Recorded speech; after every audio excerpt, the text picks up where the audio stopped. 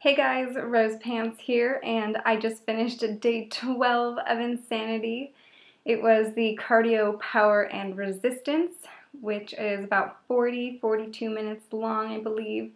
And it's definitely my favorite workout of the ones that I'm cycling through right now, just because of the way that you're cycling through and you just you feel like you're not burning out throughout the workout and wanting to quit.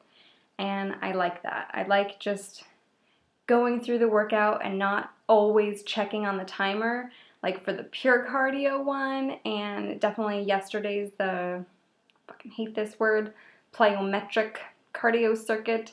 Those two, I'm just constantly checking the timers and being like, fuck Shaun T, count it down. Like, how much longer do I have? This sucks. But, you know, sticking with it, getting through it. To all you guys that are starting this too, if you're in your beginning days, please do stick with it. You're really, really sore in the beginning, but honestly, you start to feel stronger within just a few days. So believe in yourself. I believe in you. You can do this. Let's do this together. All right. I will see you guys for Insanity Day 13. Oh my God. I can't believe I'm just continuing on counting up.